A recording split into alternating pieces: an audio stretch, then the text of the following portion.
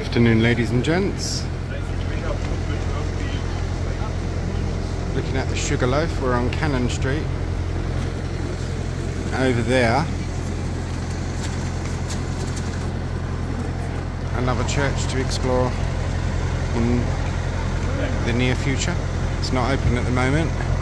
Funny thing is, with a lot of the London churches, they don't open on a Sunday, like for visitors as such. Um, right, here we are.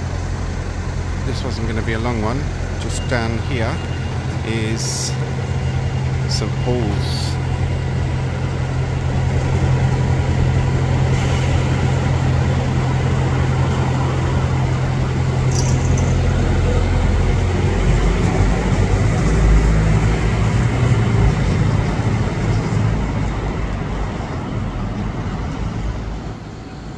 And that's looking down at St Paul's, another church for us to go and see. And looking down that way towards the Tower of London. So it's another little piece of London's history. Lots of London's history. The Sugarloaf. Established in 1873. Right, there we are. That's just that little snippet. I hope you all found that interesting. If you did, please give it a like and a share. Thank you.